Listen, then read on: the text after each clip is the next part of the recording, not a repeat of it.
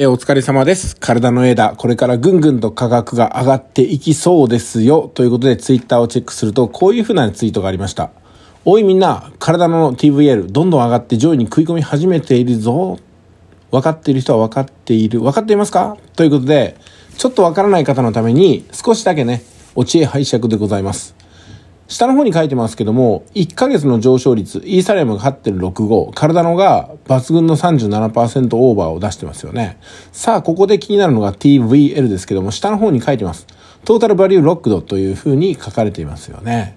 これがどんな数字なのかわからない人は今日わかるようになります。ということで検索してみましょう。ドン。TVL とはどういう意味ですか？ということです。一緒に覚えていきましょうね。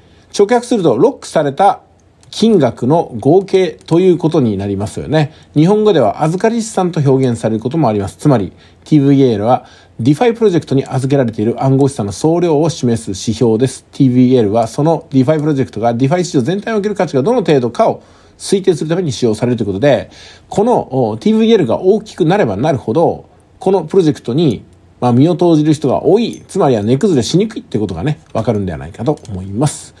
わかりました？結構いいでしょこの情報。はい、それでですね、TVL の金額を改めて見てみますと、こういう風になってますね。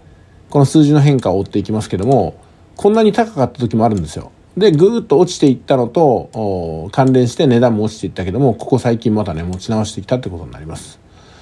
さあ、それがですね、ここに37.26って書いてますけども、いい割合ですよね。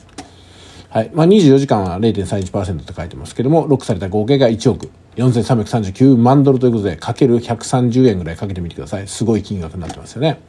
で、暗号通貨全体の中で、この TVL の比較によって、可能性があるかどうかを考えていくってことも一つの方法です。うん。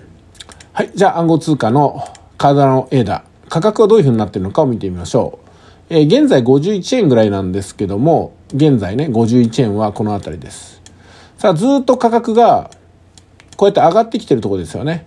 切り上がって、ドーンと上がれば下がって、ドーンと上がれば下がって、また上がって、そして緩やかに下がって、また上がってきてるところなんで、堅調に価格を戻していると。まあ早くね、体の枝ぐらいは1ドルを割らないような金額になってほしいですよね。さあ、それでもう一枚見てみましょうか。これは過去30日のチャートだったんですけども、過去180日ぐらい見てみましょうか。過去180日ね。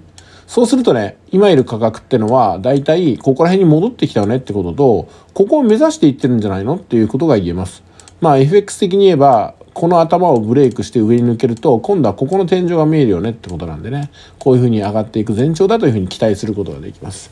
まああくまで期待ですから。で、この期待を現実化するためにいろんなチェックをしなければならない時の指標の一つに TVL っていうのがあったっていうことで、えー話のね、回収ができたということになります。TVL ね、これからはちょっとチェックしてみてもいいんじゃないかなと思います。これは、まあ、体の枝に限らず他の通貨でも同じようなことが言えますんで、TVL っていう指標を持ってですね、その通貨が期待されてるのか、そこに資金が固定化されて埋められてるのかどうかっていうことがね、あとは流動性が高いままで一気に暴落しそうなのかどうかっていうふうな危うさを測っていてもいいんじゃないですか。それでは今回は以上です。お疲れ様でした。